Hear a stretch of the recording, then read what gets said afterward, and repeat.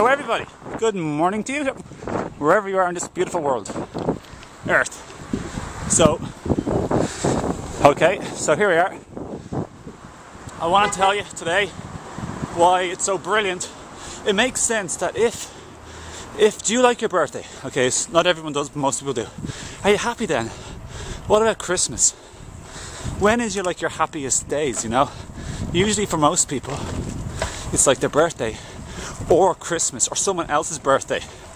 And there's happy, festive, jolly feelings and festivities going on in your heart, emotionally speaking. So, in this video, I want to say, isn't that logical? That if these are your happiest days and moments and times, shouldn't you then think about living life and other days like it's these happiest times? It's like saying, if you're happiest when you're warm, if you feel good when you're warm instead of like cold and wet, shouldn't you try be warm?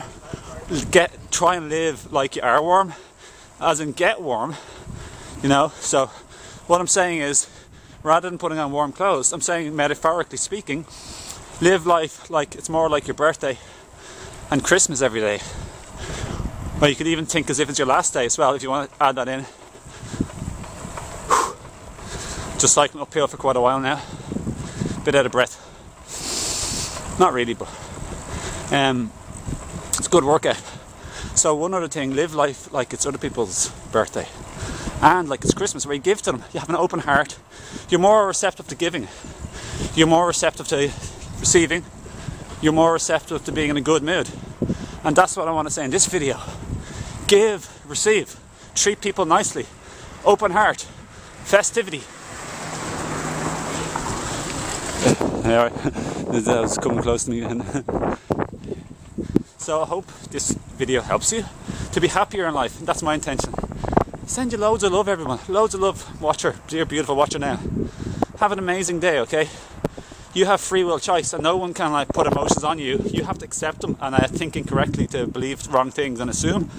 And um, a lot of this comes from a past behaviour too. Thinking false stuff is one of the thinking false stuff, assuming, taking things personally three biggest, like some of the biggest things you may, where you ruin your own emotional state. So this video I want to help open your heart, be happier in life, feel the love more, feel be feel and be more loving, which is the greatest gift. Open heart, the greatest gift, and then enjoy your life more. So thanks for watching, and uh, thanks for your company, and uh, feel welcome to support my, me, my video, my channel, my messages to the world by sharing, liking, commenting, subscribing, favoriting, and check out my links below for spiritual life coaching of body, mind, and spirit, my two books, or my higher self herbs herb shop to help recharge and heal your body and to supercharge your body, mind, and spirit. Thanks again. I'll see you next time. Bye.